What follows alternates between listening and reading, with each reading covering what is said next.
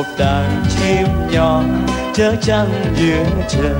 Vì bao giờ nghĩ cười đưa xuống trời bà ơi chú cười, có nhớ nhà không? Sao như trao thay sao như trao thay chú đã xuống trời nghìn năm rồi thì bên gốc cây đa Quỳ ơi, em hỏi trăng non hay già Nhìn nắng rồi nhìn bên gốc bên gốc cây đa.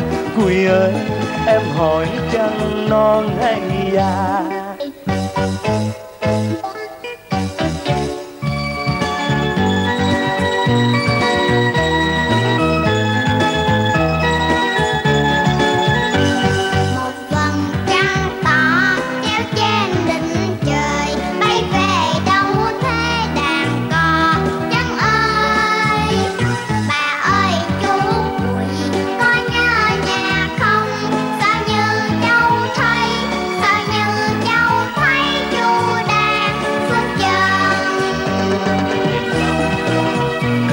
bên gốc cây đa Cùi ơi em hỏi trăng non hay già.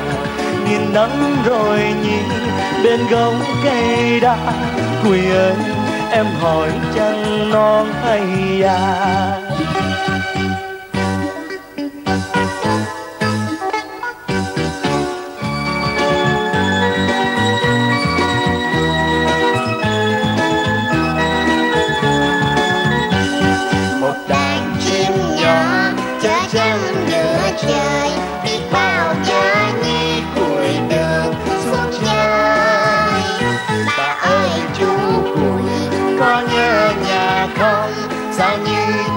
Thấy ra sao như trao quay chú đang xuống chơi nhiều năm rồi nhỉ bên gốc cây đa.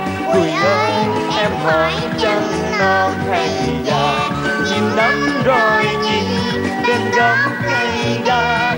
Quỳ ơi, em hỏi chân non hay già Quỳ ơi, em hỏi chân non hay già